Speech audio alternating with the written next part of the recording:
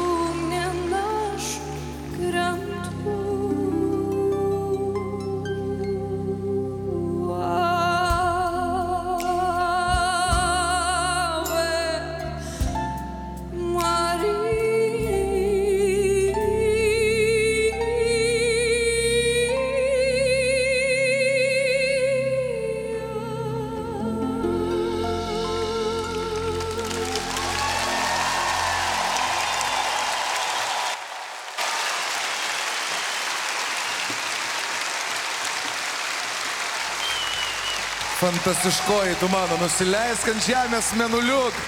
Ar tu matei, kiek žvaigždžių tau uždegė? Taip. Taip.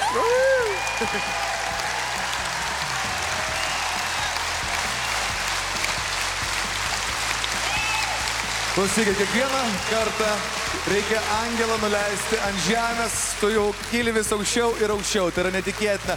Šį vakarą visi dalyviai dovanos jums ne tik tai po savo asmeninį pasirodymą, tačiau ir su savo mokytais. Vėliau laukia pasirodymas dar vienas su Donatu Montvidu būtinai. Oh, nerealu, net mano akmeninė širdį tu sutrūpinai. Up, Jordana. Supratau. Nince pasakė ne. E, Donatėlė, tavo visgi dalyviai yra, tu iš ją džiaugiesi, šypsaisi, da- dažnai e, jūs matotės, koncertuojate jau kartu. Pasako, kodėl man reikia visą laiką iš taip aukštai nukelinėti jau? A, aš noriu pradėti ne kiek apie patį pasirodymą, o labiau apie tai, kad ar tu jauti, Monika, kaip, kaip žmonės reaguoja į tavo pasirodymą, išėpdami tą šviesą, suplaudami ten, kur yra vietos jiems įsiterpti. Tai yra ryšys, ką tu užmesgi Lietuvos balsų metu. Jau galima apie tai kalbėti, nes jau yra pusfinaliai. Beliko tik tais superfinalai. Aš tau linkiu iki tenais nukakti. Bet a, kai sako, kad yra pagrindinis prizas 15 tūkstančių, ne, negalima negražiai pasakyti, bet eina vėliau tie 15 tūkstančių, kai tu esi Kaip ir tavo- Mano 15 tūkstančių va čia. Apie Bet ką kalba?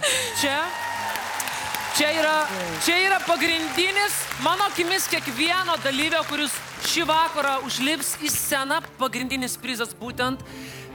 Būtent tai, ką jūs pasimsit ir niekada gyvenime nepamiršite, tai vad stovėti priešai žmonės ir va taip kiekvieną iš jūsų sugerinėti atskirai. Va čia yra esmė. Tai aš labiau už tai džiaugiuosi, nes čia yra pasiekimas stovėti čia, Klaipėdo švitrio arenoje ir dainuoti tokiai publikai. Sveikinu tave. Ačiū.